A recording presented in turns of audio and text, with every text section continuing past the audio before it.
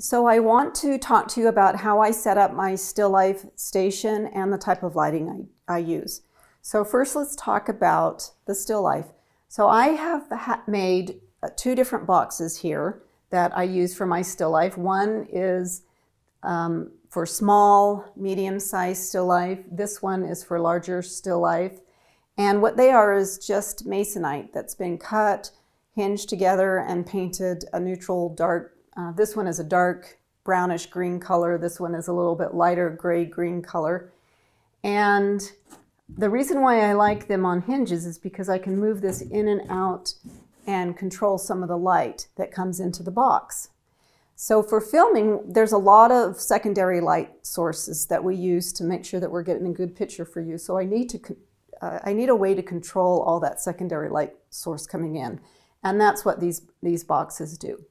So if I have a still life here, you can see if I pull this way forward, the picture in the oranges, you can see there's a lot of light in the background back here against the shadow of the vessel. If I push the vessel back closer to the background, then it creates a really interesting cast shadow. So that's something you decide, whether you want a, a more light in the background or you want that interesting shape of a cast shadow. That's entirely up to you. So, so the reason why I just have three sides and not a top is because I like to be able to have the ability to change that background. So I have lots of different fabric that I use. I have um, poster board and things like that for, for backdrops. But I can just, let's just tuck that back there. And so now I completely change the background color. Easy. I could change it to yellow. I could change it to blue with just a different type of fabric. So you can see again that the with the vessel this close, there's all this atmosphere back there and the background is lighter than the shadow colors of the vessel.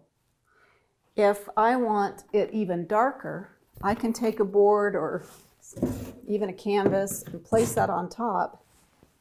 And now you can see how much darker that background is and how much more dramatic um, this area is. So if I want more light, I lift it up. If I want really dark, I place that on there.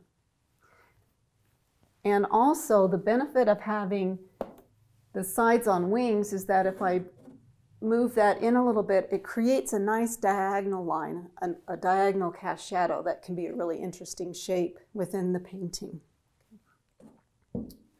So the size of this one is roughly I think it's about 20 inches square, 20 inches in depth, 20 inches in height, 20 inches in width, and around the, uh, around the back. The larger one is probably 36 inches wide by probably 24 to 28 inches tall and 24 inches in depth as well. So when I do a small to medium, I use this size box. If I'm doing a large, I'll do, I'll use this size box. If I want to do an eye level painting, then I have a, a, little shelf that I can put here and I raise up the still life so it's more at an, an eye level. I used to have a sculpture stand. I think if you've seen my other still life video or still life station video, you know I have a sculpture stand that raises up and down. Um, I'm, I don't have those anymore in this studio. I've, I've got these cabinets that I had put in. So if I do want something a little higher, where I'm not looking down on it so much, then I have just a kind of a shelving unit that I put there and, and the still life goes on top of that so it's more of an eye level. So that's how I set up this, the still life. So now let's talk about lighting. So this is just an ordinary photographer's light that I bought from a natural photography studio. I think you can order them online from Amazon or even an art supply store. And the type of bulb that I have in there is a 5000 K bulb. So 5000 K, what that, what that K refers to is Kelvin. And light is measured in degrees of Kelvin. So the higher the number, the higher the Kelvin number, the cooler the light. So a 2000 K bulb will be warmer than a 5000 K bulb. And a 6500 K bulb will be cooler than a 5000 K bulb. So again, the higher the number, the cooler the light. So you've all heard the term painting under north light, north light windows. Well, the reason why north light is considered cool is because north is the most uh, consistent light of the day. Of course, we, the sun rises in the east, it sets in the west, and in the, in the wintertime, it's more at a, a, a southern angle as it goes from east to west. So the north light is the most consistent light of the day. And it is not the sun that's coming in and lighting your still life, it's the sky. So here in Utah, we get some pretty gorgeous blue skies. So that blue of that sky, that temperature of the blue, that cool note, is what is influencing the light of my still life. If I have a cloudy day and uh, there's you know clouds and it's there's not the blue, it's still cold with those gray clouds, but it might not be as intense as the blue sky. So the law of nature, what's so amazing about nature is that if you have cool light, you have warm shadows. If you have warm light, you have cool shadows. So when you're painting with me and we're painting under this cool 5000 K bulb, we're gonna have cool lights and warm shadows.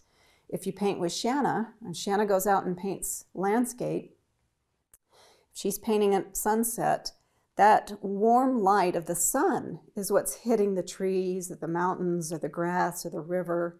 And so she'll have warm light and she'll have cool, cooler shadows. So there's this balance in, in nature. And once you can determine what the temperature of your light source is, whether it's warm or cool, then it's easy to figure out what temperature your shadows should be.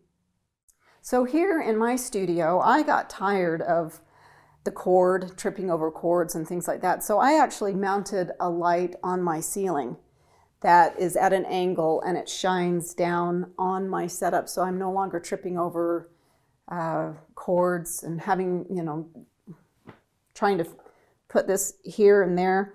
The only disadvantage of that is that that light is stationary and I can't move it. Where the advantage of this is that I could bring it here, I could come more this way, I can come more that way. So I have a little bit more options with a movable light like this.